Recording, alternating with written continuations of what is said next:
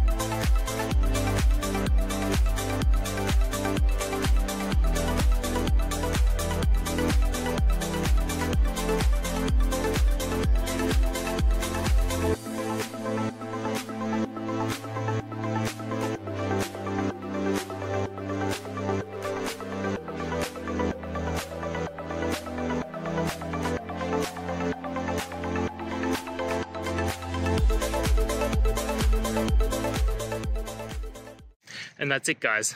I hope the video helped find the resolution that you're looking for and you got the answer and worked your way through. If you did, please hit subscribe. I'd really appreciate it. And until the next time you need technical help, I hope you have a good one.